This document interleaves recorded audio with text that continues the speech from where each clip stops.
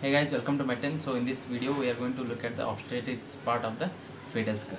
So when you look at the fetal skull, this is called as the anterior fontanelle. So the anterior fontanelle is formed by the occipital, uh, sorry, coronal suture, the frontal bone, and the two parietal bones.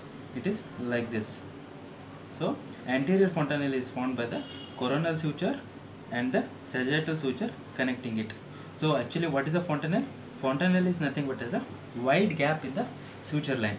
And when does anterior fontanelle close? The anterior fontanelle closes uh, up to 18 months. So coming down, we can see from the anterior fontanelle all the way up to the glabella. This part is called as the brow part. And from the glabella up to the mental process. What we can see, this is called as the face. So basically, three types of presentations we can see in the uh, obstetrics. That is the vertex, brow and face. Vertex is made from the anterior fontanelle all the way up to the posterior fontanelle. Posterior fontanelle is also called as lambda. So three types of presentations, vertex, brow and face. Now let's move on to learn about the fontanelles. So the as I told you, fontanelles are nothing but as the wide gap in the suture line. So totally there are six fontanelles: the anterior fontanelle, posterior fontanelle, and four lateral fontanelles. The anterior fontanelle is also called as bregma, while as the posterior fontanelle is called as the lambda. And basically, anterior and posterior fontanelle are, are the two important fontanelles, while the four lateral fontanelles are, are not that important. And when does the posterior fontanelle close? Um, uh, I, uh, posterior fontanelle closes at birth or it may also take up as much as 6 weeks after the birth. Now let's move on to the important diameters of the fetal skull. So we have two types of diameters. We have the transverse diameters and then we have the anterior posterior diameters. First we'll discuss about the transverse diameters of the fetal skull. We have something called as the biparietal diameter. Biparietal diameter is the diameter between the two parietal eminences of the fetal skull. We have the parietal eminences on the parietal bone and the diameter of the two parietal eminences of the, of the fetal skull is called as the biparietal diameter and this is a very important diameter and it measures up to 9.5 centimeters. Then second one we have it is called as the super subparietal diameter. So just a little bit below the uh, parietal eminence and little bit up the parietal eminence on the other side. So it will come like this diagonally like this. So if this is the biparietal diameter, this will be the super subparietal diameter and this measures up to 8.5 centimeters. Then we have the bitemporal diameters. So bitemporal diameter is nothing but as diameter from the coronal suture. Where does it end? From there, uh, from the either side of the coronal suture to this side of the coronal suture. That diameter is called as the bitemporal diameter and that measures up to 8 centimeters. Then finally we have something called as the bimastoid diameter. So we have the mastoid process on the fetal skull on either side this is the mastoid process and this is the mastoid, mastoid process and diameter of between these two mastoid process what we have is the bimastoid diameter. And this diameter measures up to 7.5 centimeter. And what is important about the bimastoid diameter is that it is incompressible.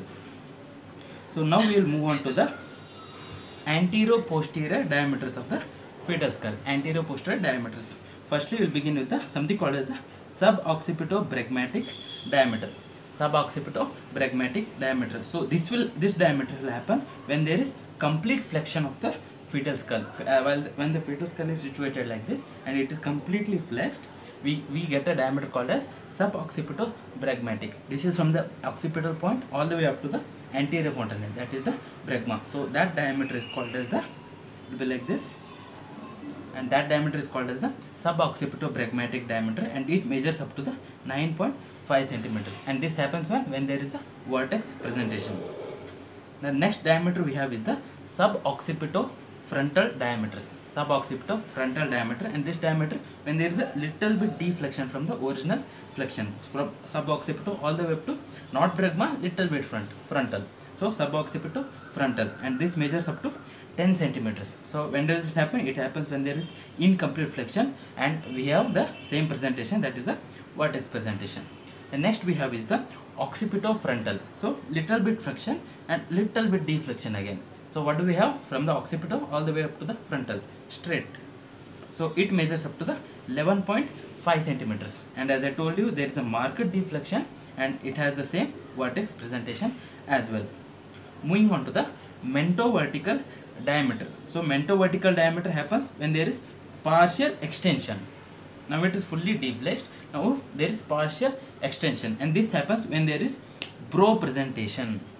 So i will show you the diagram it is that it is mento vertical right? D. So look at it. D. This is the longest diameter. It measures up to 14 centimeters. When there's marked deflection we have all the way from this point to the mentum mento vertical so this measures up to the 14 centimeters and this is the longest anterior posterior diameter of the fetal skull. And when does it happen? It happens when there is a brow presentation the next diameter is called as the submento vertical diameter. And baby is going from the complete flexion into deflection into complete extension. Slowly it is going okay? The next uh, diameter is called as submento vertical and this measures up to 11.5 centimeters. And when does it happen? When there is incomplete extension and the face presentation is present as well. The final diameter is called as the submento bregmatic diameter. What is the submento bregmatic diameter? You can see f. Here is the f. Submento bregmatic flat like this.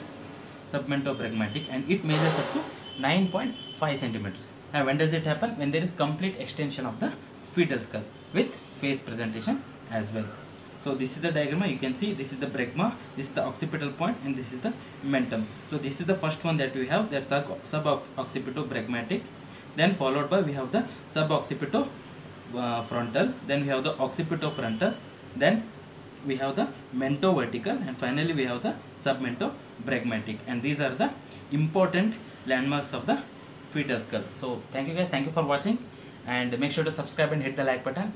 And also share it to other friends and people who want to learn more about the medicine part. Thank you so much and i'll see you in the next video. Bye